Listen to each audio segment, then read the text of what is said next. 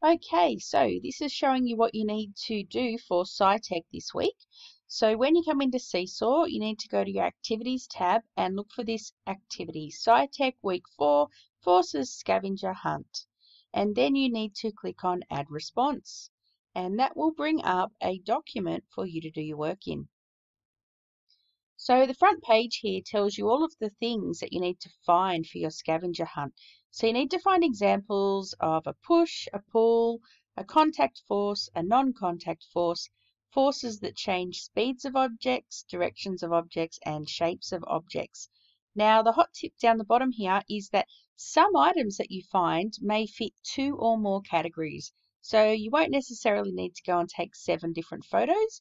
You might take one photo that can fit in a few of those. Now each example that you find should include a photo um, you need to show those force arrows that you saw in your um, book that you read to show the direction of the force and use the text um, or voiceover tool to label or describe the force. Now down the side here we've got all the categories that you need to find so your job is to see how many of those you can find around your house. And I'm going to give you an example of what it needs to look like. So for example, we have um, we have to find a push force. So I've already found some photos and I've put them on my computer. So I'm going to upload them. You may use the photo tool to take photos on your iPad or your webcam, but I've already got mine, so I'm going to upload them. And here's my example of a push force. So I'm going to pop that in here and use my texture tool to show the direction of the force. So I've got one that way and oh, one that way. And what I'm going to do is add some text to show the type of force that it is and pop it there. Now I'm going to use Control C on my keyboard and Control V and put another one over there, make it a bit smaller.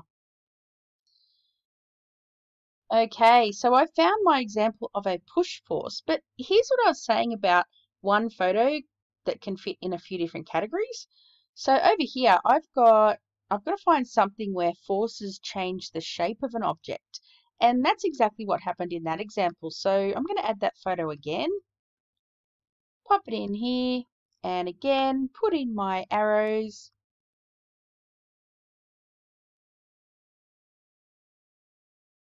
type in the type of force. It's a push force. And I think if I can go here, I can duplicate it even. Okay, so I've shown the type of force and the direction of the force. What else have I got in my little stash of photos? I know that I have a non-contact force. So I'm going to grab that one and pop it in here. Now, even though I'm touching the sticky tape in this picture up here, the actual force that's going to make it move is gravity, which is a non-contact force. So again, I'm going to grab my um, marker tool. I'm going to show the direction of the force. And I'm going to pop some text in there to explain. Oh, where are you? Um, gravity is pulling the sticky tape towards the ground. And I'm going to make it smaller and bring it across here. So I've labeled it with my arrow, my direction arrow, and I've given it a little bit of text to say what the non-contact force is and that it's the force is a pulling force. Now I can actually use this picture for another one. If I go down to the speed one, I noticed that when I did this, it also changed the speed depending how high I put that stack of books. So I'm going to pop in my direction arrows again. But I'm also going to maybe use a different color to just point this bit out and just make a little note about how I changed the speed here. So I noticed that the higher I made the ramp, the faster the sticky tape rolled.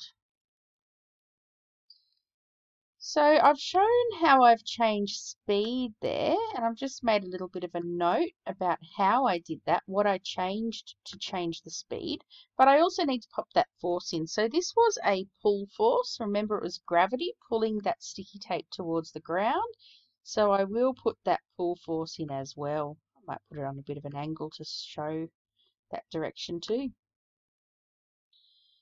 Okay, so there's lots of categories you need to fill in. Um, I'll give you an example of the direction one I did. So again, to show it with a still photo, because this is moving, and you need to use those arrows to show the movement. So with this one, I pushed or rolled the sticky tape towards the wall. It hit the wall, and then it rolled back to me. So there was a push force in this direction. Duplicate that. And then it pushed off the wall. The wall pushed the sticky tape back towards me. So there was two push forces there. So this is how you need to show your examples with those arrows and the labels. And once you've found all the examples, you need to come to the ref reflection page and you can either use a voiceover tool or you can write it down, talking about how confident you're feeling about your understanding of forces and what else you'd like to find out about forces now that we've done our first lesson on them. Okay, so looking forward to seeing all the examples that you can find today. I wonder if you can find an example for every category. Um, also know you can put multiple examples in. If you find a few different push forces, you can put a few in there um, that's completely fine. Okay, have fun on your scavenger hunt. Bye.